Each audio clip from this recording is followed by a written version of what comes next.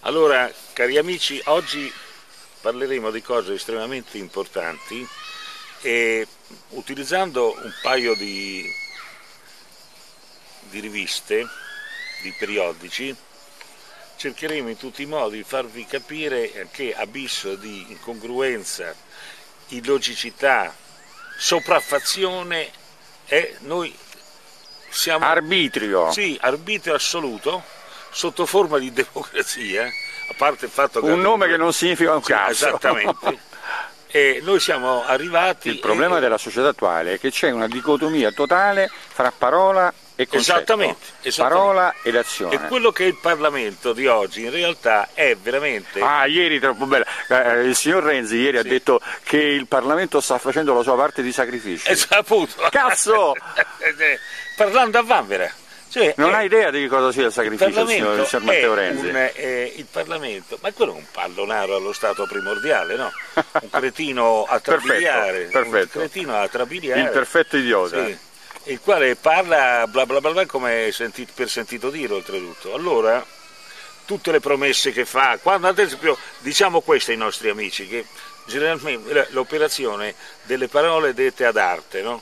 lui parla di mille giorni. Mille giorni nell'immaginario, quando tu ricevi la parola mille giorni, tu vedi una U, uno, un uno con tre zeri, ma lo percepisci come cento giorni. È diverso se tu dici invece tre, Tre anni, anni. tre anni, allora dici io devo fare le riforme in questi mille giorni, perché sennò oltre i mille giorni... Ma si vede le riforme che aveva promesso che, che rovesciava il mondo ha in fatto- 100 giorni? Sì, sì, Ti fatto- ricordi? Un fatto cazzo. Allora vediamo noi e, e incominciamo con questa.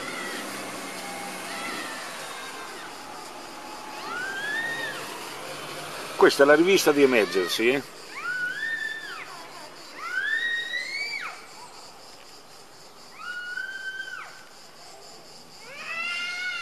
Allora, leggiamo quello che c'è scritto qua.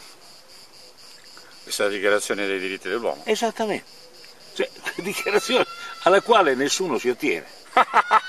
Beh, noi abbiamo fatto la denuncia al Tribunale di Roma, al Tribunale Penale di Ro- di- dell'AIA sulla eh, Convenzione di Roma e dove ci hanno detto non so cazzi, fatevi, fatevi fate ad altri, non non so cazzi nostri. Allora, comunque lo leggiamo, perché è su questo principio che si basano le iniziative veramente ammirevoli di Amnesty. Tutti gli esseri umani nascono la Amnesty liberi- o Emergency? Emergency. Emergency, scusa, eh? Eh. No, no, no, scusa, ho sbagliato io. Emergency è una cosa seria, eh, Amnesty è molto meno. è una cosa loro. Molto- molto poco seria. Amnesty è una cosa loro. Tutti gli esseri umani nascono liberi ed uguali in dignità e diritti. Riconoscere questo principio costituisce il fondamento della libertà, della giustizia e della pace del mondo. Infatti, chi non riconosce questo diritto è ovviamente antidemocratico, Certo. Nazionalista allo diritti- stato puro? contro i diritti della Razzista, persona, eh, sopraffasso- sopraffattore imperialista, Certo. guerra fondaia, è quello che Razzista. sono gli Stati Uniti. Che vanno a liberare i popoli con, i carri armati e le bombe nucleari. Cioè uccidendo i popoli, li, li libera dalla- dal peso della vita. Oh, è bello quest'altra cosa. 2002 l'Italia è fuori dalla guerra. Allora, questa è stata una iniziativa E la lì è leggiamo? rimasta. La leggiamo, sì, la leggiamo. Era l'ultimo, eh, l'autunno del 2002. Ancora una volta la guerra sembrava una scelta inevitabile. L'Iraq era il nemico numero uno, le inesistenti armi di distruzione di massa erano presentate come una minaccia alla sicurezza dell'Occidente e l'Occidente si preparava a un'altra campagna militare nella regione. Fuori l'Italia dalla guerra, era questa la richiesta di emergency, poneva al governo italiano e a tutti i cittadini con una mobilitazione imponente che ebbe il suo culmine il 10 dicembre 2002. Nell'anniversario della Dichiarazione universale dei diritti umani, più di 250 fiaccolate e 300.000 persone si riversarono nelle strade di tutta Italia mentre stracci bianchi e bandiere arcobaleno sventelavano alle finestre. Io me lo ricordo benissimo, Sì, sì. ci abbiamo partecipato. E poi centinaia di assemblee nelle scuole, le adesioni di decine di comuni, province e regioni e 500.000 firme Quando una parte della sinistra e una parte dei sindacati ancora erano puliti, puliti. una piccola parte ma sufficiente. All'appello fuori d'Italia dalla guerra sul sito di Emergency. Vogliamo un mondo basato sulla giustizia e sulla solidarietà, ripudiamo la violenza, il terrorismo, la guerra come strumenti per risolvere le contese tra gli uomini, i popoli e gli stati. Chiediamo che l'Italia, di fronte alla minaccia di un attacco militare contro l'Iraq, non partecipi ad alcun atto di guerra nel rispetto della Costituzione. Non vogliamo essere corresponsabili di nuovi lutti, né vogliamo alimentare la spirale del terrore. Basta guerre, basta morti, basta vittime.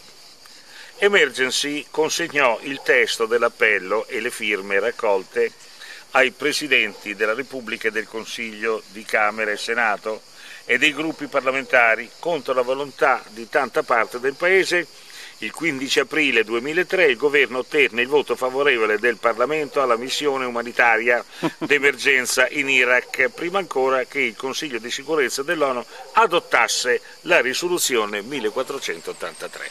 Ecco che cos'è il governo italiano, un governo e un Parlamento giustamente a fine 800 ci fu un autore, lo faremo vedere eh, fra qualche giorno, un'altra prossima intervista, che scrisse eh, un, un, un, libro molto importante intitolato I moribondi di Montecitorio, eh, dove dice esattamente le cose che diciamo noi oggi. È passato un secolo, È passato un secolo, quella lì, lì è un è un, è un alveare, piovra, dove. Sì, è un alveare dove vengono inzeppate le teste di minchia vengono selezionate le teste di minchia una volta selezionate i ministri attuali. Sì appunto il ministressa attuale è una meraviglia è una meraviglia. Io le vedrei bene non ministresse ma metresse. Sì. metresse in qualche bel bordello. Sì non è facile fare la metressa bisogna essere esperti imprenditrici di se stesse non sono, non sono all'altezza della situazione. Le vediamo anche dalle facce se capisci tutto Emergency consegnò quindi il testo. Una come Rosy Bindi emergerebbe. Ah beh sì, Rosy Bindi è una meraviglia, quando, quando un certo giorno quando un certo giorno si arrabbiò, diventò tutta rossa in un dibattito con Berlusconi e dice io non ci sto, certo non ci stai, fa schifo. Lui è abituato, lui era abituato con quelle ragazzotte, capito, alla ricerca di un po' di notorietà. E, migliaia, a frotte arrivavano sul suo letto capito? e lui non sapeva come, a chi come fare a chi retta, manco fossero pulci e ti immagini pigliava in considerazione Rasibindi, ricordiamoci sempre, eh? ricordiamoci sempre, eh? più bella che intelligente. Sì, sì, sì. E lei allora, ha fatto un'uscita qualche giorno fa a proposito delle ministre sì, che, sì. che, ha girato ultimamente. In, tutta invidia. No, no, che lei diceva che sono belle, brave e intelligenti. intelligenti. e ballavano bene. Sì, come quando c'era... No, ma bello è che le ministresse se, sono, se ne sono risentite. Cioè, certo, te, dico, te lo dice lei. Anch'io, io come un minimo mi to toccherei i coglioni, tanto per dirne uno. Poi dopo vediamo. Mi ricorda quella frase tipica no, degli ufficiali che vanno a sentire, che vanno a assaggiare il pasto, no? Bello e sufficiente. È abbondante. È abbondante. Allora, fermiamo la guerra, fermiamo la pace.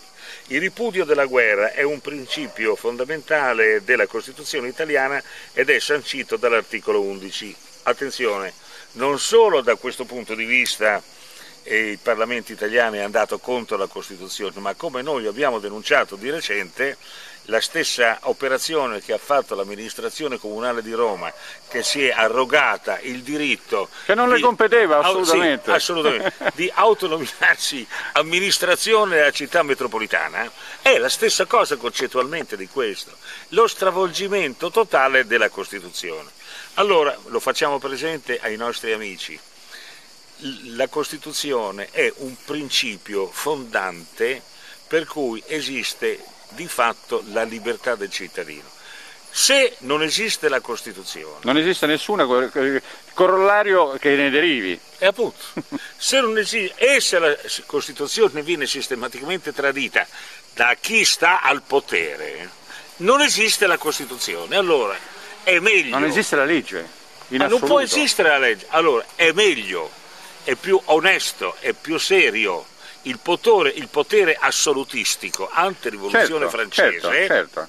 che almeno la gente sapeva esattamente com'era la situazione. Certo, no, ma sapeva eh, le modalità di comportamento da tenere. Esattamente. Certo. Qui invece tu ti trovi sistematicamente con una cazzaglia di mascalzoni, poi vi diremo come andrà a finire eh, l'esito, quale sarà l'esito della nostra denuncia presso il TAR del Lazio, Guarda, Alessandro Manzoni aveva sì. esemplificato perfettamente le modalità con cui si comportano questi cialtroni del potere, cioè il potere non solo assolutistico, ma proprio arbitrario come abbiamo detto prima, cioè una volta lo applicano, una volta non lo applicano, a seconda di come gli fa più eh, comodo. Attenzione, ma Alessandro Manzoni si riferiva a una situazione veramente certo, all'invasione, spagnola, spagnola, certo, che era già di per sé corrotta esatto. ed era pure un'invasione sul, diciamo, di usurpazione di diritto bravo, assoluto. Che trattava eh, certo. gli italiani come merce di scambio. Ma siamo nella stessa identica condizione, sì, non ci sono gli spagnoli, ci sono gli americani. Esattamente, anglo-americani e gli ebrei. Certo. Allora, andiamo avanti.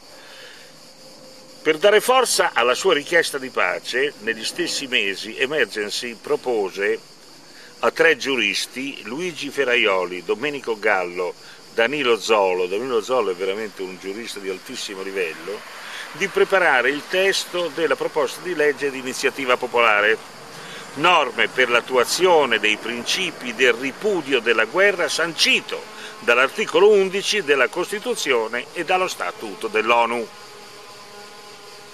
La proposta di legge chiede una serie di garanzie che rendano operante l'articolo 11, ne consentono un'effettiva applicazione e prevedono rigorose sanzioni per le sue violazioni.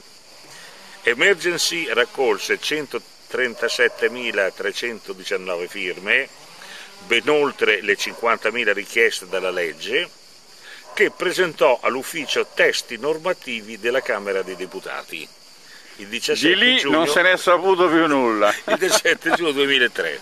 Allora, a questa gente qui noi cercheremo in qualche modo di fargli pagare il conto, capito? Perché è una cosa troppo grave. Allora, continuiamo nella nostra lettura perché i nostri amici resteranno stupiti di quello che io più di una volta ho citato questa bellissima rivista, che ripeto è del 1993, questo è di un altro numero, è di un altro mese, e, e a parte il titolo è dedicato alla droga, come la droga riesce a filtrare indipendentemente dalle altre cose. La droga Ma, è strumentale al regime. Come la, esattamente come la religione e allora veniamo ad alcune cose perché sono attuali anche oggi. Quella tempesta sui doppi servizi. O tripli. no, ma adesso possiamo anche parlare di quadrupli. Eh. E leggiamo per primo questo, perché è troppo oh, bello. Questo signore qui, noi lo conosciamo, sì, dopo lo diciamo. Esattamente. No, è uno che dice le cose come stanno. No, ma lo, lo conosciamo direttamente. Eh? L'antimafia... Quando siamo andati lì, in quel posto... L'antimafia perquisisce i servizi segreti e li accusa di manipolare i carteggi. e poi l'attentato alla Confindustria, il caso Contrada. Eh, beh, lì. Non c'è pace per il SISDE, il suo capo avverte, punto, punto, punto.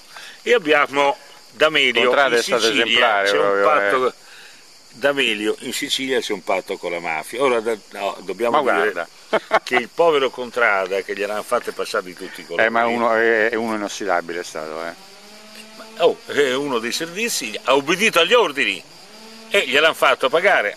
Io in quelle condizioni c'era Contrada, ma poi c'è quell'altro, come si chiamava quell'altro? Quell'altro capitano. Eh, quello sì, quello è morto capitano, Anche lui è morto di recente. Sì, sì che anche lui è, è, stato coinvolto in una marea di roba. Però lui è, uscito, alla fine è uscito pulito. È riuscito a uscire, ma pochi, pochi anni dopo è morto sì, sì. anche lui. Perché sono prove terribili. Allora da questo punto di vista colgo anche l'occasione. Beh, come tortura, se sei forte reagisci, esatto. ma empaticamente esatto, tu hai detto eh, una cosa subisci le conseguenze. Perché uno dei punti essenziali del movimento Enzo Tortora era anche quello di affermare la, la, causa psicosomatica del tumore. E voglio ricordare che ci sono moltissime persone che eh, hanno un tumore intestinale che li porta a morte che sono proprio dovute ai magoni che hanno dovuto... Ai rosponi più che ai rosponi, vedi anche concettualmente. E io ricordo Paolo Signorelli ad esempio. No? Paolo Signorelli è stato, che era un esponente della destra più o meno eversiva, però tutto era fuorché un, un terrorista, tutt'altro che, che terrorista, fu accusato, e so anche da chi e perché, ma non entro nel merito. No, anche perché sennò allarghiamo a macchia no, no, vabbè, ma noi lo sappiamo, cioè, ecco. deve, avere, eh, deve, avere, messo le bombe eh, sul treno a Piazza Bol- a, nello stazione di Bologna. E si è fatto dieci anni di galera, ma non una galera semplice. Isolamento. Si è fatto moltissimi anni in isolamento totale, lui uomo completamente estroverso, è totalmente estroverso, la fine qual è stata? Quando è stato totalmente scagionato dopo dieci anni, penso sia vissuto 4-5 anni e poi morto anche lui per un tumore intestinale. Anche lì l'eccesso di rospi che lui ha dovuto ingoiare giorno dopo giorno, notte dopo notte in quell'infame carcere, poi accusato dalle peggio cose, gli avevano anche tolto la patria potestà, cioè sono cose allucinanti quelli che gli hanno fatto ben sapevano che le accuse erano pretestuose, anche se lui non era innocente in quanto tale, non è che fosse un innocente, anzi ricordo qui lo stesso discorso che capitò a Freda, al quale gli chiesero ma tu sei innocente? E lui rispose no, non sono innocente, nel senso, come Franco Freda è un uomo di grande cultura, dice non sono innocente, innocente significa che sono uno stronzo. Io non sono, non sono eh, colpevole. Possono, eh, puta, non sono colpevole dell'accusa di quella cosa di cui tu mi hai certo. Allora, veniamo nel merito. D'Amelio, in Sicilia c'è un patto con la mafia. Siamo... Oh, queste cose se ne parla oggi. 93, eh, 21 anni fa. Esattamente. Questo è del, e voglio, voglio rileggere, il 3 febbraio 1993. Nel caso Contrada comunque vadano le cose, il colpo l'ha ricevuto lo Stato, questa parvenza di Stato ovviamente perché se Contrada era colluso con la mafia, evidentemente lo Stato ne riceveva un discredito. E se invece egli è stato vittima di un raggiro, qui siamo nel pieno della problematica. Certo, nell'inizio delle ipotesi. Ecco. ecco. non solo, ma nel pieno della problematica, cioè quando tu stai dentro la cosa e ci sono tutta una serie di accuse ben specifiche, è difficile che tu riesci a, a districare. Oggi, a vent'anni di distanza, era tutta una montatura. No, anche perché quando ti attaccano, riuscire a controprovare l'inesistente esatto, esatto. è difficile, è impresa impossibile. Ecco, chi si deve ergere come giudice non può, non ignora, non può ignorare, no, non può ignorare eh, che la massa dell'opinione pubblica lo squalificherebbero immediatamente se lui asserisse e affermasse palesemente l'innocenza delle persone. Ora, oggi noi sappiamo perfettamente che Contrada, come quell'altro capitano dei servizi, eh, non mi riviene in mente. il nome, implicato e anche lui alto... in, una, in, una, serie di cose sempre relative a Tangentopoli, tutta questa roba qua, e, e, alla, e agli opposti estremismi, ecco, e agivano sicuramente su ordine di chi gli aveva dato l'ordine, poi bisogna vedere se in questo paese dove i servizi segreti sono 10.000, tutte derivazioni dell'ovra, ricordatelo cari amici, è tutta ovra questa, eh? Che cos'è l'ovra? Se fosse stata ovra sarebbe stata anche abbastanza... No, no ma è ovra, è oh, ovra. Abbastanza no. diciamo fulminante, no? Nel senso... Eh, è eh, ovra buono. con tutte le sue sfaccettature. Rapida, con tutte le sue sfaccettature. Mm eh, come è ampiamente scritto in relazione a un grande personaggio del Ministero degli Interni che era D'Amato, quindi rimaniamo qui perché sennò usciremo dalle regole. Diciamo che l'ovra era allora, resta oggi, una fattispecie di spectre, così gli amici lo capiscono, poi se lo vadano a vedere. Uno degli ultimi libri appunto sulla, sulla, sulla l'uomo ombra del Ministero degli Interni è facilmente reperibile ancora oggi in quelle edizioni tipo, eh, tipo controcorrente, tipo, che ha, che ha, che ha pubblicato quasi tutti eh, i libri di, di, di tutti quei eh, magistrati che hanno indagato sugli anni di piombo, ecco, tanto per dare un'idea in generale. Eh. Allora, e se invece egli è stato vittima di un raggiro, la credibilità dello Stato sarebbe ugualmente compromessa perché avrebbe la dimostrazione che la mafia, anche attraverso i pentiti, riesce a raggiungere i suoi scopi. Allora, questa per me è la prima volta che una persona che è solitamente informata sui fatti dice che i pentiti sono in realtà manipolati dalla un tentacolo, un tentacolo, no? Come si fa a dire che... Vabbè. Lo dice il senatore democristiano Saverio D'Amelio, uno dei pochi parlamentari che serbano la memoria segreta della commissione antimafia dell'ultimo decennio. Ora, chi volesse andare a spulciare nel numero allucinante di faldoni che c'è nella nella, nella, nella biblioteca della commissione antimafia, come a suo tempo prima di morire faceva regolarmente il senatore Giorgio Pisanò, che pubblicava tutto sul suo giornale Il Candido e prima ancora sul suo giornale XX secolo, allora potrebbe vedere che dice scritto tutto il contrario di tutto, perché? Perché l'intero la, la, situazione tra Stato l'ingarbugliamento è, è ingarbugliata e intricata, non potrai mai riuscire a distinguere cos'è la mafia cosa non è la mafia, qual è la mafia vera, qual è la mafia falsa, perché la mafia agisce, eccetera. Ma qui c'è scritto un concetto molto importante. Quale è la mafia dominante in quel determinato momento? Esattamente. Perché la mafia non è una sola. Esattamente. Quali sono le forze di gioco? Per mafia possiamo intendere anche le organizzazioni occulte. Eh? È così. Tanto per dire... Lo dice D'Amelio. Eh certo, la, la, P2, la P3, la P4 ed anche non solo le P, ma anche gli amici di rito scozzese, gli amici di, eh, di rito orientale, eccetera, eccetera quelli di i, i, i, dice, i, cavalieri dei vari ordini, Oe. in particolare quelli di, di scuola tua, da, de, quelli che vengono da lì, che, tanto per dire uno, Vincenzo Scotti, no? Certo. Tanto, eh. Tanto per dirlo, guarda, ci vorrebbe una costituente a cura di Fabio Andriola, noto storico. Altro che bicamerale, sostiene Sergio Romano, giornalista ed ex diplomatico per il quale l'Italia è in mano ad un'oligarchia di incapaci anche di dimettersi e di elaborare una nuova politica estera adatta al dopoguerra fredda adesso sta cambiando opinione. Allora, Sergio Romano dovrebbe sapere, eccolo qua, Sergio Romano, dovrebbe sapere Sergio Romano, e fa finta di non saperlo, lui lo sa no, bene, sa tutto. Lo sa bene, che il sistema è confacente al, a, al potere che c'è, certo. quello sotterraneo, non certo. quello palese, apparente che conoscono i cittadini normali. Esattamente. Il potere che conoscono i cittadini romani è solo, eh, normali è solo una facciata, è solo è un teatro. È veramente una facciata talmente, talmente frivola, talmente limitata, talmente de cartone, che è, è, è, si, resta, sì, si, resta,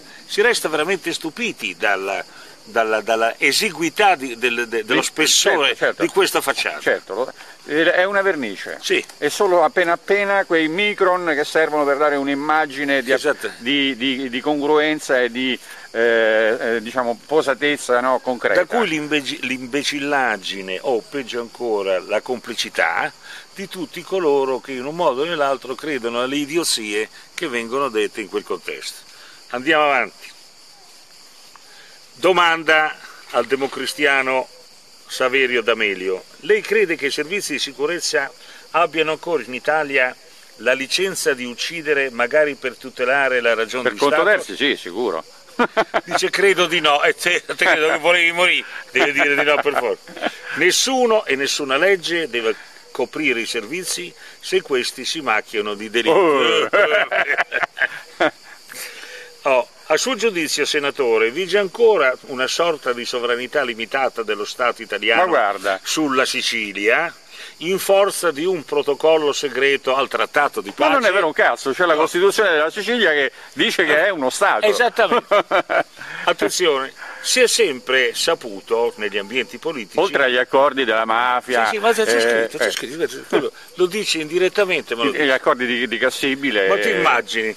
Si è sempre saputo negli ambienti politici di una certa limitazione dello Stato rispetto alla Sicilia, che ha comportato anche la concessione di impunità seppure limitate. C'è stato un depistaggio continuo per impedire la ricerca del vero assassino dell'ex presidente della regione siciliana Piersanti Mattarella. Oh, faccio presente che Piersanti Mattarella era mio compagno di scuola al liceo. Si è inventata una pista nera accusando Giusva Fioravanti del delitto. C'era questo Fioravanti che siccome aveva sicuramente Ma fatto... Ma tu parli del Leone XIII?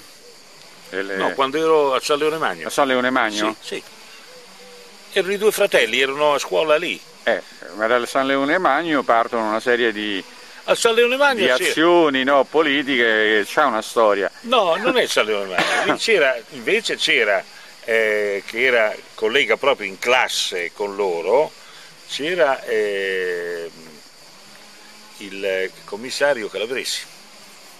Siamo al liceo comunque, siamo certo. eh, Mattarella, Piersanti mi pare che fosse un anno prima di me, mentre l'altro fratello assieme un a, anno dopo. Ah sì, al commissario Calabrese un anno dopo. No, del San Leone Magno è partito niente. Non eri San Leone Magno. All'epoca dove... tua forse ancora non era così, ma adesso è controllato da chi ah, sappiamo bene. Adesso è diverso perché presso la nuova eh, sede. sede del San Leone Magno è, è, è c'è, c'è uno stabile, una nuova uno stabile separato, c'è separato dove c'è quella, quella cosa che ha preso sicuramente in affitto alla scuola. Allora qui è tutto un altro discorso. Certo, certo. Eh, direi che la, la, componente più importante è più di carattere camorristico che non mafioso. No, camorristico, mafioso e dei cavalieri, ovviamente, sì, sì. del potere economico dei cavalieri. Dei chevalier. I chevalier, certo. Tanto è vero non che, a caso, che è l'Università di Malta. Non è, esatto, non a caso il presidente di Malta che, che, ha 30.000 abitanti è stato eletto a presidente dell'ONU. Ovviamente. Tanto per allora, dirne una, insomma. Eh, e non è stata un'operazione di buonismo, è stata un'operazione molto ben pagata. Ora dell'omicidio viene incolpato un mafioso secondo la testimonianza di un pentito. Senatore D'Amelio, perché uccisero Mattarella? Per fatti siciliani, credo, ne sono convintissimo anch'io perlomeno sono preminenti quelli siciliani. Il fratello di Piersanti, Sergio, non si è mai pronunciato sulla questione, evidentemente ha i suoi problemi. Quello più piccolo? Sì. Ah. Come si sta comportando la Commissione antimafia sulle questioni siciliane? Sbaglia, perché nell'esame dei problemi dà la sensazione di seguire delle tesi senza averle prima verificate e non le verifica mai la commissione antimafia. Non c'è bisogno, non quelle sono delle verità da rivelare al borgo. Esattamente, esattamente. E quindi che bisogno di verifica hanno? E allora adesso passiamo ad un altro articolo molto importante proprio per No, va detto un'ultima cosa a proposito sì. della Sicilia, che se volesse il Banco di Sicilia potrebbe emettere moneta. Certamente, certamente. Ma guarda che la istituzione della Banca d'Italia, uno dovrebbe andare a, a spulciare, a, a spulciare eh, i decreti e le norme di legge istitutive della Banca d'Italia, che non eliminano certe peculiarità e certe funzioni delle banche stesse, cioè delle banche che prima della Banca d'Italia erano adibite le sei banche d'emissione esattamente a emettere carta moneta. Ah, tra parentesi, una cosa molto importante che diciamo ai nostri amici perché è molto importante ai fini del concetto di moneta complementare. Noi abbiamo sempre sostenuto che in Italia ci sono moltissime monete complementari e io personalmente ho ah, una parlato... ventina sicuramente. No, no, ma ti sto dicendo un'altra cosa. Io ho parlato più di una volta e anche circa un decennio fa del fatto, ad esempio, che i buoni benzina, quelli che vengono dati a chi viene dall'estero, sono monete complementari. Tu le puoi scambiare comunque. Beh, siccome... Io c'era un periodo che ne avevo a fasci e, appunto, e li io... usavo, mettevo un po' di benzina e dicevo dammi un po' di resto. E, dato... e mi dava il resto. Esattamente. eh, quando io ero ragazzo eh, corteggiavo le straniere e mi facevo regalare, oppure compravo, pagandole molto bene perché non si pagavano le tasse, i buoni benzina. Quella è moneta complementare a tutti gli effetti. Proprio ieri eh, ho saputo che hanno... I gettoni del telefono, ti ricordi i gettoni del... Cavolo, Era tanto, moneta, cioè ti davano il resto al bar, ti davano... È vero che a un eh. certo punto trovarono il modo di eliminarli proprio perché fungevano da moneta. Questo per dire che qualsiasi strumento di scambio di merci nei confronti di merci concrete può essere istituito e può essere valido a patto che chi lo riceve sia sicuro e che a sua può, volta a, a, non può passare ad un certo, altro. Certo. Allora, proprio ieri sono venuto a sapere che hanno fatto un decreto, credo che sia l'associazione dei supermercati, che impone a chi si presenta con i buoni pasto eh, dati dalle proprie aziende, dalle scuole, eh, eccetera, eccetera, debba presentare la carta d'identità. Perché? perché i buoni pasto sono utilizzati sistematicamente come moneta. Come moneta. Invece dovendo giustificarli con un documento di possesso, di identità e quindi di possesso, decadono dal, dal, dal circuito di accettazione eh, diciamo in qualche modo eh, generale. Esattamente. Perché? Perché è automatico. Allora questo lo voglio dire a tutti i nostri amici che storcono sempre il naso e non riescono a capire il ruolo e la funzione no? il ruolo e la funzione della moneta complementare. Siamo a 31 minuti. Esattamente. Allora, adesso veniamo a un'altra cosa, perché è un articolo molto importante e abbiamo questo qui. leggi, leggi.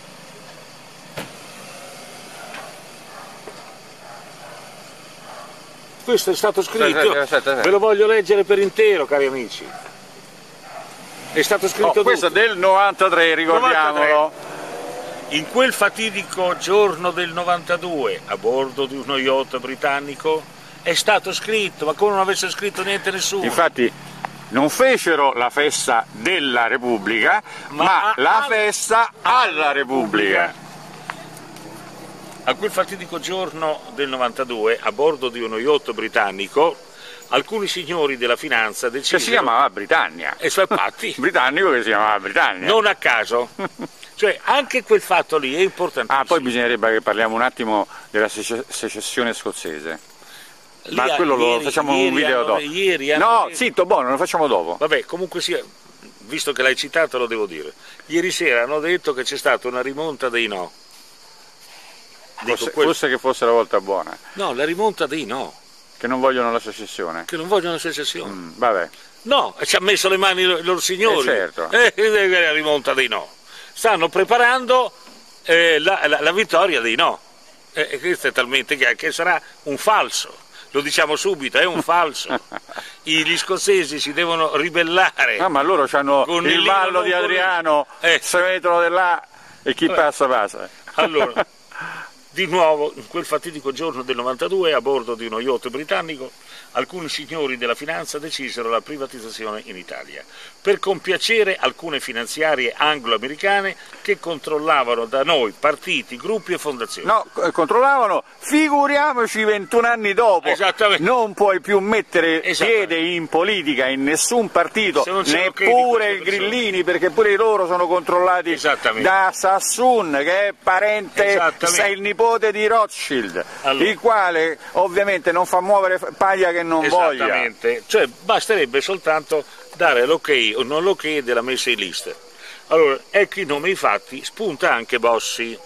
È interessante questo aspetto bossistico ma perché all'epoca. Sì, sì, è delle, delle, sì, ma è delle, eh, come dire, la politica è questa. Adesso, eh, francamente, io, eh, noi abbiamo un esempio tipico di una guerra feroce che fu fatta tra Cesare e Pompeo stanno a prendere in giro con questo coso del.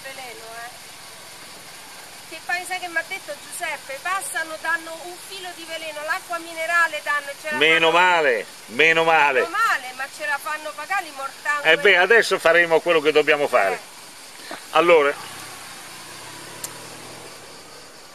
noi a duemila anni di distanza. Sappiamo perfettamente che la guerra l'uomo per tutte le Cesare, battaglie di Cesare l'uomo per tutte le battaglie contro Pompeo è stata autentica perché è costato la Maria de Morte.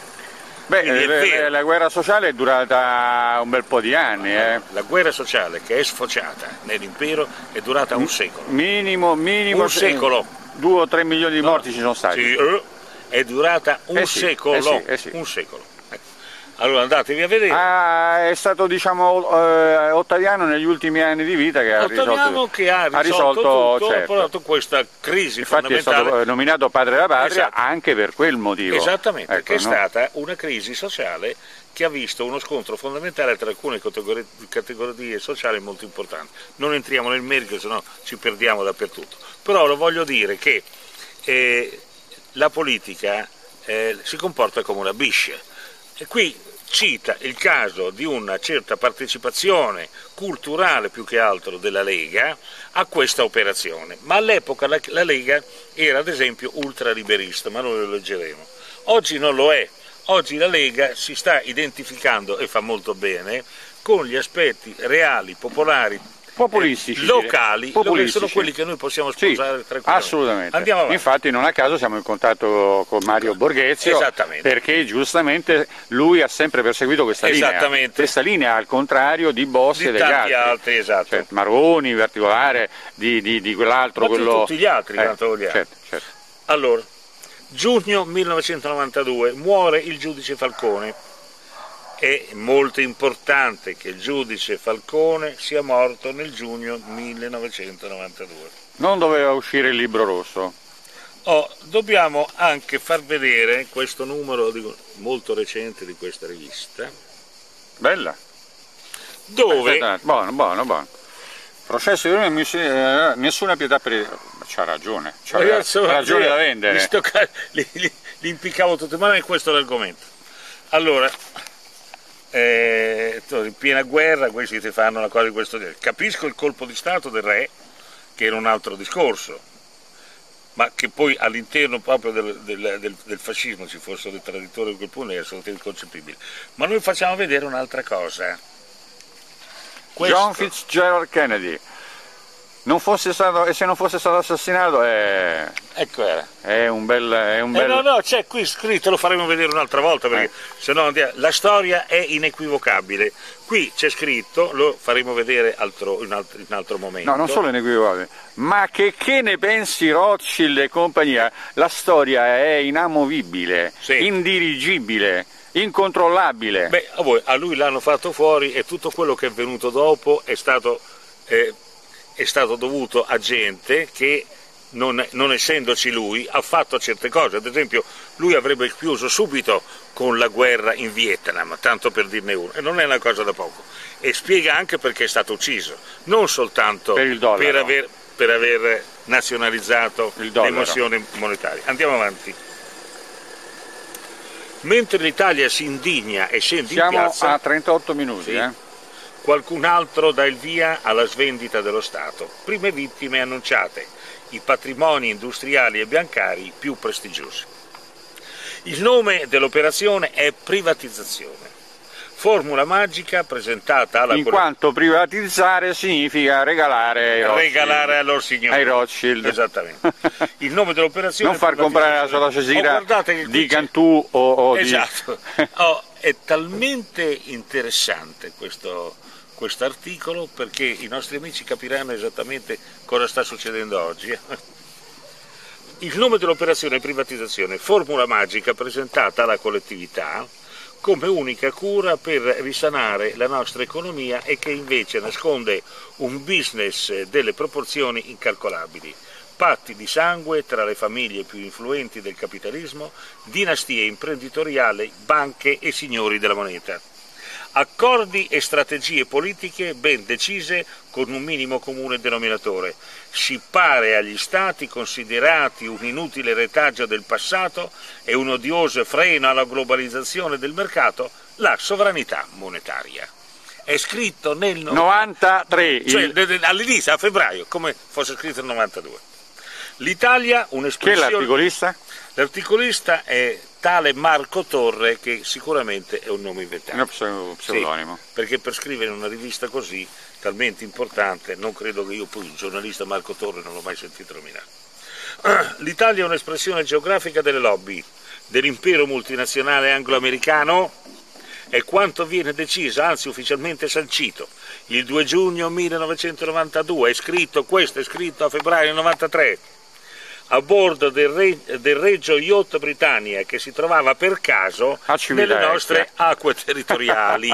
Attenzione che l'operazione No, poi... non era nelle acque territoriali, era. era. appena fuori dalle acque territoriali. No, uscirono. No, no c'era il, il, tender, c'era il tender sì, eh, sì, che portava dal porto a 12 miglia sì, dalla costa. L'operazione per facilitare loro signori, cioè gli italiani, e non essere eh, presi per non era l'ancora al porto non era l'ancora sì, al porto. ma non è quello poi, poi dopo ha ancorato tant'è vero che nell'interrogazione che fu fatta dal Parlamento a Draghi Draghi disse quando ho visto che la nave stava salpando me ne sono andato perché ritenevo che nella mia posizione di direttore generale del Ministero del Tesoro ah sì, ha attraccato avessimo... ma poi la parte diciamo grossa dell'incontro all'estero è stata fatta all'estero, fuori dalle acque territoriali. Esatto, è quello che sto dicendo. Eh. Però per farli salire dovevano essere per forza nelle acque territoriali. Ma c'era un tender, essere... un tender che Il andava tender non ti porta a 50, non ti porta a 50 km di distanza L'operazione stava a, a, 12 miglia, oltre le 12 Draghi, miglia. L'ha detto. Vabbè, ma che cazzo, può darsi se lo ricorda, forse no. Ma quello l'ha detto all'epoca. Andiamo avanti, dai. Eh, quello che è importante è che comunque c'è stata questa diciamo, altalena di eh, attracco e allontanamento fuori dalle acque Dovevano farlo oh. in acque neutre. Certo. Eh, allora.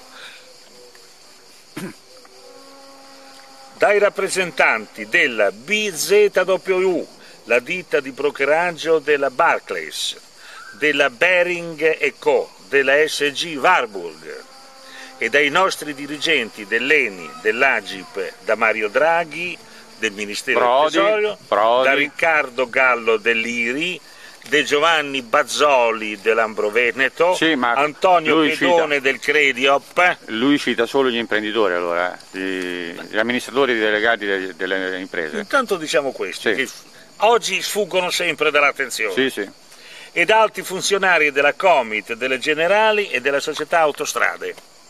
Lo rivela un documento dell'Executive Intelligence Review. Allora, ricordiamoci sempre che la Executive Intelligence Review, di cui noi riceviamo sistematicamente le notizie, che è l'organizzazione eh, informativa del POE, Partito Operaio Europeo, di cui è presidente Emania Parsa, il grande politologo e economista Lyndon LaRouche, eh, ricercato dai servizi segreti americani perché va contro gli interessi della finanza apolide americana. Da, da, da 50 anni oramai, eh, eh? Da, oltre 50 anni.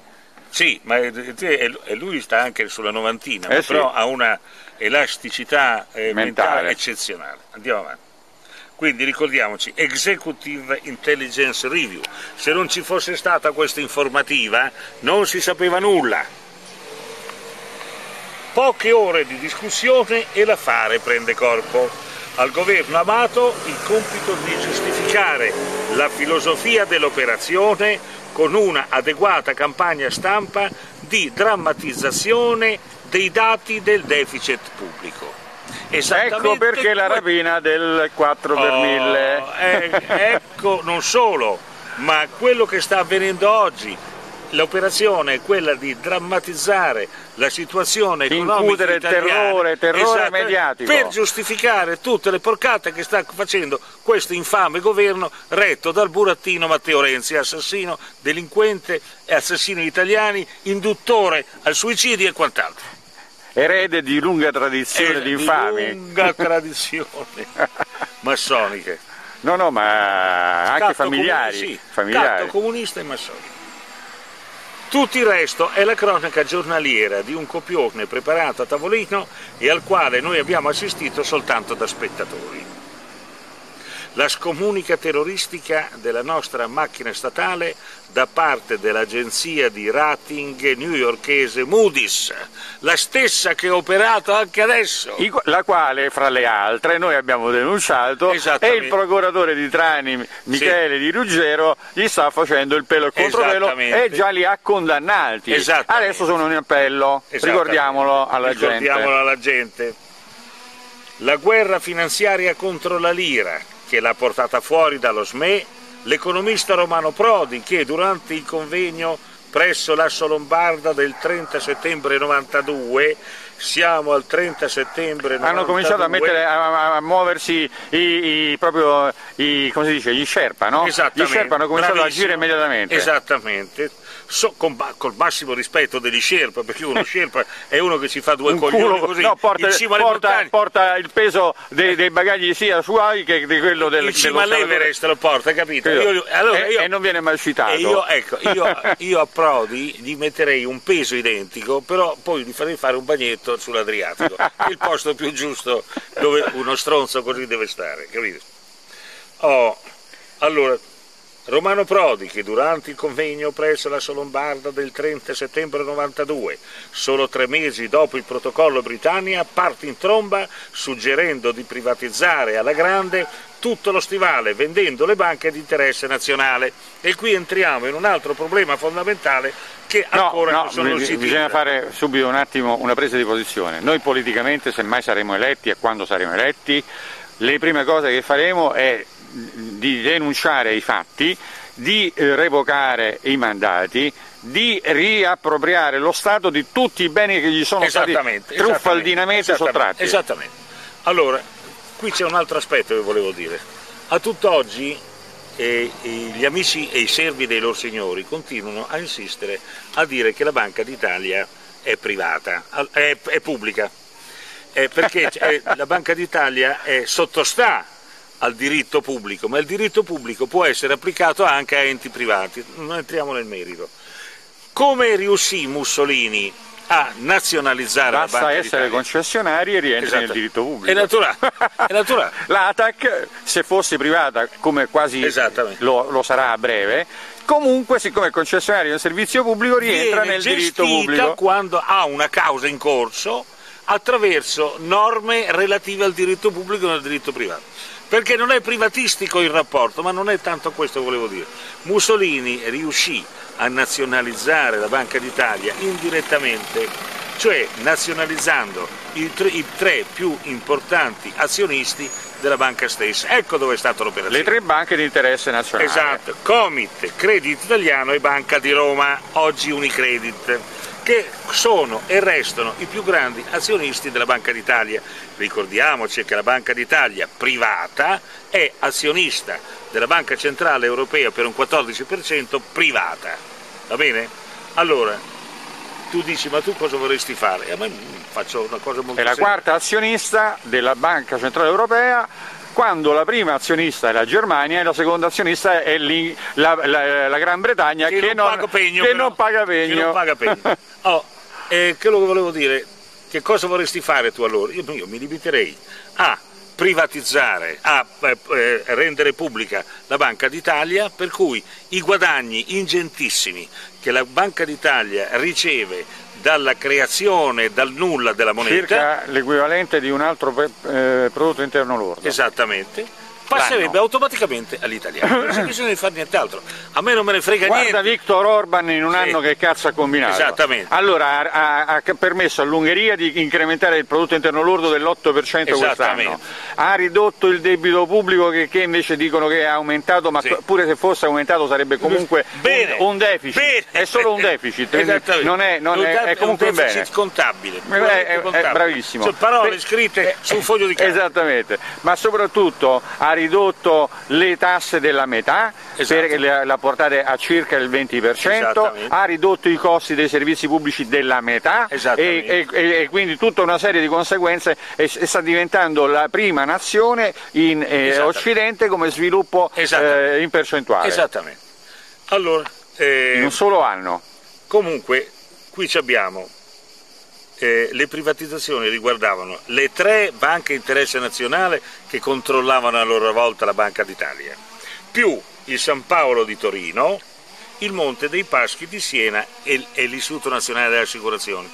L'Istituto Nazionale delle Assicurazioni era importantissimo perché... Era un'altra cassaforte della moneta italiana, come esatto. la Cassa Depositi e Prestiti, così era l'INA. Oh, perché? No, qui bisogna dire l'episodio che è stato fatto Vabbè, di, di, estromissione di, di Perissinotto. Esatto, Perissinotto che era una persona eh, eh di, una, di, una, signorilità, di una dignità, di, un, di, una discendenza, perché il padre pure sappiamo attraverso linee dirette di, informazione le persone che loro sono. E questo è stato accusato di tutto e di più perché doveva essere estromesso e scavalcato per lasciare spazio ai galoppini del potere controllato da questi e, e, quindi attraverso di loro controllare la seconda cassaforte italiana. Esattamente. Oh, ehm, l'altra cosa che volevo dire che tu mi hai eh, interrotto, sì, l'Istituto Nazionale delle Assicurazioni era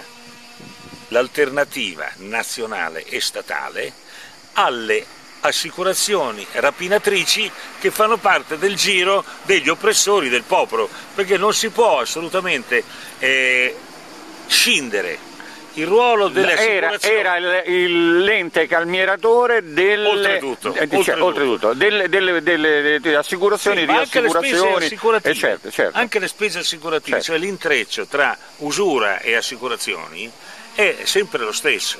Ecco perché lo scopo qual era? Era quello di potenziare un'assicurazione statale di modo tale che i, i, guadagni di queste assicurazioni ricadessero automaticamente nell'interesse del popolo italiano. Eccolo qui messo in mezzo immediatamente. Proseguiamo.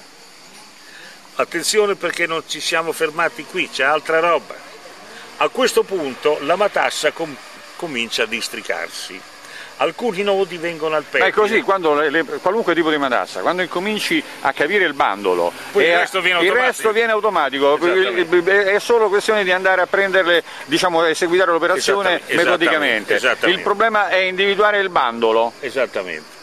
A questo punto la matassa comincia a districarsi, alcuni nodi vengono al pettine, certe politiche si possono spiegare. Anche la svalutazione della lira è stato soltanto un comodo affare per le finanziarie di Wall Street. Calcolato Ciampi non è esente da colpa, eh? è stato partecipe in prima, in, in prima, battuta. Infatti l'hanno fatto Presidente della, Repubblica, Repubblica per certamente. Calcolato in dollari, l'acquisto delle nostre imprese da privatizzare è diventato infatti per gli acquirenti americani un, meno, un costoso del 30%, meno costoso del 30%. Un regalo. La stessa lira, attento, si va assestando ormai sul valore politico di circa mille lire a marco. Ricordatevi queste mille cifre. lire a marco, Attenti. non duemila, mille. Esatto, quindi tenendo presente che l'euro altri non è che il marco, l'ulteriore svalutazione che hanno fatto loro signori... E per regalare ai tedeschi il resto quindi, che non si erano spolpati gli anglo-americani. Esatto, esattamente, quindi già per esempio Lamborghini, esatto, Ducati, esatto. Eh, poi altro non Ma mi viene. Una marea di qui c'è scritto. Allora, già il fatto che fosse il marco a mille lire e che rappresentava una svalutazione della lira senza contropartita perché un conto è svalutare l'azienda eh. per, favore, grave, eh? per, valutare, per, per, per, fav favorire l'esportazione di, di, di, di, di proprietà eh, monetaria in cambio di nulla. Articolo 11, eh, oltre a, ad avere... Certo, è da eh. tradimento, alto tradimento. Eh, ma non bisogna stupirsi, il disegno di espansione delle grandi finanziarie anglo-americane è noto e viene da lontano. Siamo La società la società Montpellier, che per 12 anni ha dominato l'economia inglese, Sir Leon Brittan, ex commissario della CE e vecchio esponente del governo della Thatcher, il club segreto del Bilderberg, siamo nel 1993, frequentati dal nostro Agnelli, da Kissinger, da Rothschild, i loro associati newyorkesi, della Goldman Sachs, della Merrill Lynch, della Salomon Brothers, i loro sostenitori nel Fondo Monetario Internazionale, nell'Ocse, eccetera, personaggi, sigle e organizzazioni che non spuntano a caso, fanno parte della storia, sono la storia. Ricorrono in tutti gli importanti processi di trasformazione dell'economia mondiale. Tre di queste finanziarie, ad esempio, sono direttamente interessate alle nostre privatizzazioni. Collaborano infatti col governo Amato. Collaborano infatti col governo Amato. E c'era ancora quell'infame. Vediamo ancora Er Sorcio. Esatto, vediamo qualche dettaglio che le I riguarda. soprannomi sono sempre esemplificativi del carattere principale, Come lo chiamavano dominante. il Sorcio, poi gli hanno cambiato il nome per poterlo, in Dottor Sottile. Sì, sì. Eh, allora io ti infilerei qualcosa di molto sottile dove dico io. Vabbè. Ma molto lungo. Molto lungo, lunghissimo, fino, a, fino alla gola. La Goldman Sachs, la prima di Wall Street, adesso anche con sede operativa a Milano, di cui è stato dirigente superiore Draghi e è stato anche Monti, è uno dei più influenti manipolatori del prezzo del petrolio e del valore della moneta. Il suo leader Ricordiamo supremo, che Saddam non è morto a caso. Esatto, il suo leader supremo, Robert Ruin, sarà il capo del Consiglio di sicurezza nazionale del neopresidente Clinton. La Salomon Brothers gestisce il greggio mondiale ed opera prevalentemente nel settore delle materie prime. Il suo nuovo presidente, Warren Buffett, è il principale azionista del Washington Post, della rete televisiva ABC e ha forti interessi nella Wells Fargo Bank e nella American Express. La Merrill Lynch, infine, incaricata dall'IRI, il 9 ottobre, dire IRI all'epoca voleva dire... Tutto, no, l'industria. Dire mortadella. No, ma mortadella. No, no, Romano Prodi. Sì, ah, certo, beh, allora lui era, era lo Mortadella. smantellatore, certo. Esattamente. certo. E la Merrill Lynch, infine, incaricata dall'IRI... No, voleva dire il bello e il meglio dell'industria ah, eh, nazionale che aveva italiana. fatto arricchire in Mattei, maniera eccezionale no. il popolo italiano. Certo.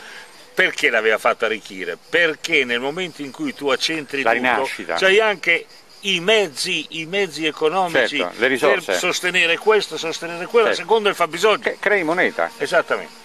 La Merrill Lynch, infine. Se non ce l'hai, te la crei. Esatto. E lo puoi creare quando e come vuoi, no? Infine, incaricata dall'IRI. Non a caso gli italiani sono il popolo al mondo che ha il maggior tasso di eh, proprietà private in eh, possesso. Esatto, esatto. Il 9 ottobre, favorito anche in, in maniera enorme da Craxi, Cioè, attra- che Craxi Certo. favorì l'acquisto della casa attraverso Certo. un'operazione di mutui. Non ricordo, non ricordo, Eh, il 3%, il 3%. secondo il principio Quando la socialistico- valutazione era al 20%, Esatto, il mutuo casa costava 3. Secondo il principio del socialismo mazziniano, tutti proprietari e non tutti proletari. Certo. Quello è, è quello che ha dato maggiormente fastidio, Di la diffusione della Certo, proprietà. certo. Questo è quello che È ha la fatto ricchezza che l'hanno reale, ricchezza reale in- di- distribuita. Ognuno, pro- pro- ognuno proprietario almeno di casa sua. Certo. Ripeto. Coinvolto nella difesa del territorio Es- dall'assalto dell'estero. Esattamente. La Merrill Lynch infine incaricata dall'IRI il 9 ottobre scorso di preparare la privatizzazione del credito italiano, ha occupato spesso le croniche per alcune operazioni di riciclaggio del denaro sporco tra l'Italia, la costa orientale degli Stati Uniti e Lugano. La famosa Pizza Connection, il processo alla famiglia mafiosa newyorkese dei Bonanno. Allora, ricordiamoci bene che in un libro uscito recentissimamente, di cui cercherò di parlare oggi pomeriggio, ehm, intitolato Vati Cash, e c'è- ci sono circa 300 pagine di documentazione di queste operazioni. Tra l'altro il libro deve essere stato scritto di concerto con interessi gesuitici perché parla bene di questo Papa e dice che questo Papa si sta eh, eh, dando da fare per moralizzare l'ambiente del Vaticano. Io- Allora, di- no, Eh, bisogna- bisogna- allora, i gesuiti, sotto il pro- e qui anche questo Papa, quindi, sotto il profilo della loro etica di espansione globalista, ricordiamoci sempre, e usuraia, ricordiamoci sempre che loro sono i fondatori delle principali banche moderne e Esattamente. soprattutto sono quelli che portano avanti il progetto della mondializzazione esatto, da sempre, da, sempre.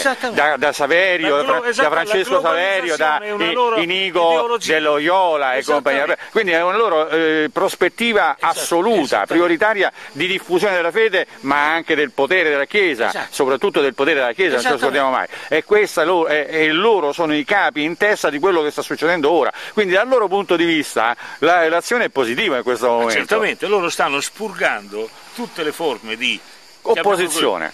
Sì, ma soprattutto di individualismo all'interno della, della, curia e anche proprio perché vogliono avere completamente il Ah certo, certo, certo. Però ricordiamocelo, si chiama, è un libro pubblicato da, eh, da un editore non tra i, i, più grossi ma specializzato eh, nelle denunce, eh, si trova regolarmente nelle librerie, eh, io l'ho visto su Feltrinelli, prima o poi lo comprerò.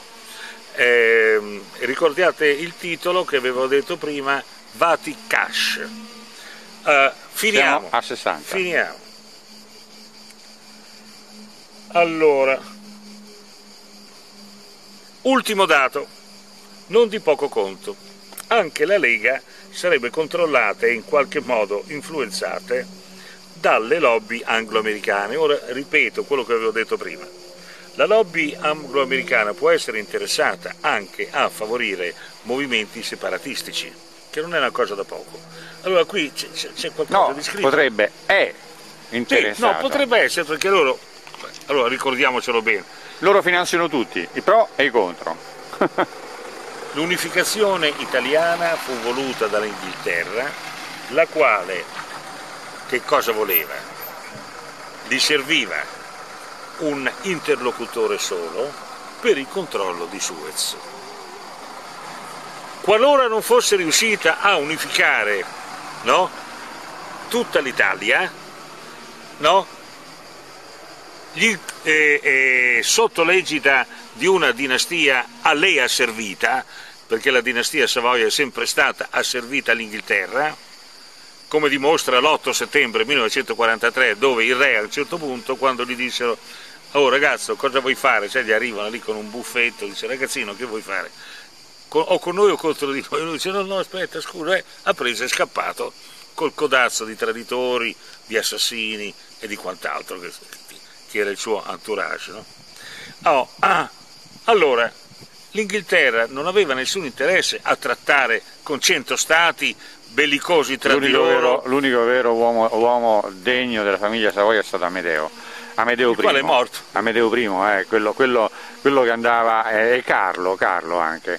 Carlo, Vabbè, siamo, Carlo quello, quello, della battaglia di Vienna. Sì, è una, è una, battaglia, eh. è una cosa che citeremo, attenzione, citeremo questo personaggio. È stato un grande personaggio. Perché uno di questi giorni io ho già raccolto alcune sue frasi molto importanti, è stato il più grande capitano del Seicento, alcune sue eh, frasi molto importanti sulla guerra, accompagnate da un eccezionale commento di niente po' di meno che di Ugo Foscolo. Però. E che io ho già preparato e che ve lo dico subito non lo amici. Che...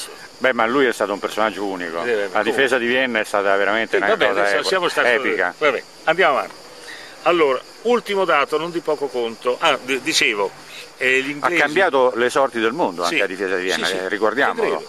Cioè, è stata una cosa veramente di, di portata internazionale mondiale che aveva, epocale. che aveva reagito contro le stupidaggini de, di, di, Vienna, di, di, Venezia, la quale a un certo punto non è stata all'altezza del ruolo che si era assunta e pensando bene di poter controllare l'Adriatico ha rinunciato a conquistare l'Atlantico e l'ha pagata le conseguenze perché chi si taglia i coglioni da solo giustamente da solo, merita di morire merita di dissanguarsi sì, chi si taglia il coglione da solo glielo danno pure il culo capito? quella è la logica capito? non è come dice quello lì, dice quel marito che, che rispetto alla Do, moglie dopo tre, secoli, dopo tre secoli di dominio mondiale, del controllo del, del, esatto. del denaro, eh, de, del flu, esatto. dei flussi mercantili, cioè, cioè eh, ti, diventi, indebosciato, indebosciato, non sai più l'interesse. Aver capito? creato anche l'economia finanziaria più importante del mondo e soprattutto i servizi segreti più importanti del mondo. Si fanno fregare. Non così. a caso Giacomo, Giacomo Casanova aveva molte vesti. Esattamente molte vesti. E non a caso eh, Giordano Bruno è stato fregato da un veneziano, ricordiamoci bene. Allora, andiamo avanti. Ultimo dato non di poco conto, anche la Lega sarebbe controllata e in qualche misura influenzata dalle lobby anglo-americane. Il movimento di Bossi, da sempre ultraliberista all'epoca, e favorevole alla privatizzazione di ogni attività economica dello Stato e anche questo ha una sua logica. Io privatizzo, tanto lo piglio per me. E privatizzare tanta roba a nome della Padania significa avere in mano il 90% dell'economia, delle, dell'industria che sta tutta lì, no? perché fu portata da quelle parti a suo tempo dopo, dopo 1861. La, certo. In, eh, no, perché ricordiamoci che le fonderie più grosse eh, prima del 1861 stavano a Napoli, a Taranto, a, Taranto e a Napoli. Andiamo, se no non, non, ci poteva essere una flotta al eh, sud. Certo. Eh, tra l'altro è rimasta proprio anche una tradizione per cui buona parte di coloro che fanno carriera in marina vengono da quelle zone, certo. Napoli Beh, e quant'altro. Mio cognato con tutti gli amici suoi eh. del corso erano tutti di Taranto. Di qui un'antica consuetudine di dar retta agli inglesi. Vedete cari amici, questa è una delle statue più belle. Bello. Questo è Guidarello Guidarelli, Guidarelli che sta nella biblioteca di Ravenna e dove Grande. moltissime donne bellissimo vengono, il Valentino, altro che Valentino. vengono a baciarlo, a baciarlo e strofinarlo più che possono. È, è, è il frutto è perché io cambio e così mi è capitato casualmente sta, sta pagina. Questa fotografia e fa vedere appunto l'uomo nella sua fase di massima debolezza, quella che interessa la femmina. che, sì, perché lo manipola, eh certo, lo controlla. Non solo, ma è, è, la, è la fase di debolezza dopo l'atto sessuale oltretutto. Allora, che è il principio fondamentale della, della, dell'ape regina, che si fa sì, eh, e poi ammazza e che, che, poi ammazza il fuco capito? ricordatevelo ne parleremo qualche altra volta Guidarello Guidarelli anche invano a volte scambiato con altri cavalieri che parteciparono alla battaglia di Ravenna del 1512, dove morì il fior fiore tra la battaglia di Ravenna e la battaglia di Pavia, che determinò la sconfitta definitiva della Francia in Italia. La, la, la Lega di Cambrai, no? Esattamente, e, e, fu, ehm, e, fu, eliminata la cavalleria francese. Certo. Eh, che era, era, era, il mito de, certo. dell'epoca. Certo. Finiamola su questa. Ultimo dato, non di poco eh beh, fu eliminata perché cioè, erano stati inventati i cannoni, le bombarde a mitraglia. Non solo, ma loro eh, furono inventate le, le, bombarde, ma soprattutto eh, i lanzichenecchi avevano le eh, lance lunghe 5-6 sì, metri. Le, avevano le lance lunghe, facevano cadere i cavalli e eh, quando il cavaliere che aveva un'armatura che pesava dei quintali cadeva più delle volte sotto il cavallo, sotto il cavallo avevano buon gioco di sgozzarli col pugnale. Infilavano il pugnale sotto la visiera? So, no, sotto la visiera, qui. Vabbè, sotto, nella, le, sotto la, l'elmo, lorica, sotto nella lorica certo, mi pare che si sotto chiami, l'elmo, l'elmo. sotto l'elmo, in quella parte che ovviamente Deve non poteva essere mobile, eh, mobile e li sgozzava. Andiamo avanti. Ultima Lega sarebbe conciliata in qualche misura influenzata dalle lobby anglo-americane può anche darsi. Lo sviluppo che ebbe a suo tempo, sicuramente, come tutti i movimenti nuovi, sono presi in considerazione da chi detiene il potere mondiale e valuta le cose se vale la pena di contrastarlo o farlo andare avanti. Certo. Ma non significa che poi quello sia eh, che la Lega è nata proprio su ispirazione di lui. No, ma può, può essere di... anche eh, del tutto inconsapevolmente abbia agito favorendo eh, le, le, lobby, certo. certo. Oh, il movimento di Bossi, da sempre ultraliberista e favorevole alla privatizzazione di ogni attività economica dello Stato, è ispirato per la propria lotta politica alle indicazioni della Fondazione Agnelli, legata oltre all'omonima famiglia anche ad Enrico Cuccia, il garante degli equilibri economico-finanziari fra l'Italia e l'estero. Fondazione che già alla fine del 90 in un progetto denominato Padania prospettava la divisione dell'Italia in macro regioni.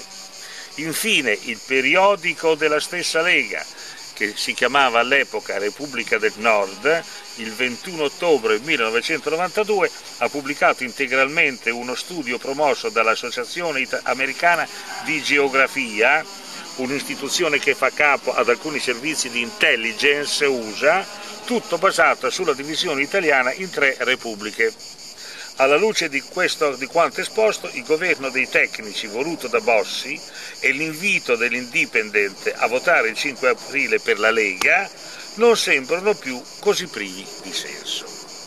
Allora, questo è un altro argomento. Io sono convinto che ci siano dei meccanismi automatici per cui eh, alla nascita di un raggruppamento geografico superiore, quello antecedente si dissolve, come stiamo assistendo oggi a tentativi separatistici in Belgio, tentativi separatistici in Olanda, in Germania e oggi il più importante è quello dell'Inghilterra.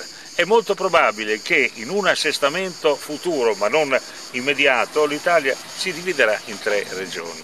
L'importante per noi è che la Sicilia non sia un'unica regione, perché a quel punto diventerebbe di tutti i difetti la base militare americana totale, no, sarebbe veramente, sarebbe veramente l'ennesimo Stato americano che, svolto, che svolgerebbe la funzione che all'epoca hanno svolto le, le Hawaii, che hanno giustificato il secondo conflitto mondiale perché loro hanno fatto apposta, hanno istituito lo Stato, eh, l'ennesimo Stato, in modo tale che chi avesse attaccato le Hawaii attaccava direttamente, direttamente gli Stati Uniti. Stati Uniti.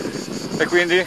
E quindi ritengo che sia ora di chiudere anche perché abbiamo detto molte cose. Eh beh, oggi troppo. è durata addirittura 65 minuti, quindi siamo proprio oltre ogni termine. Esattamente, Vabbè. però abbiamo detto delle cose molto Mo, importanti. Eh beh, cioè abbiamo fatto amici, alcuni spunti ecco, veramente I nostri amici diciamo, non determinanti. a dire eh. che noi non li teniamo informati, poi se non ci vogliono seguire peggio per loro. No, ma io vorrei dire un'ultima cosa, sì. vorrei fare una scommessa che mercoledì prossimo, quando andremo lì in. Camera di Consiglio in udienza al TAR, sono convinto che saremo solo noi quattro gatti soliti e nessuno di quelli che si dichiara nostri amici interessati sì. sarà, farà la sua comparsa neppure neanche come ectoplasma. Quindi, amici, come, noi comunque detto, andiamo avanti per la nostra strada. Noi tireremo innanzi, come diceva. Esattamente. E come diceva eh, un grande della letteratura eroicomica italiana, che ha scritto il Tassoni, che ha scritto La secchia rapita, a un certo punto avviene un certo fatto dove dice che quelli scappano, uno chi va di là là, e chi va al cesso. e allora andranno al cesso, ma noi rimaniamo lì. Ma noi rimarremo lì. Ok, ciao a tutti e alla prossima occasione.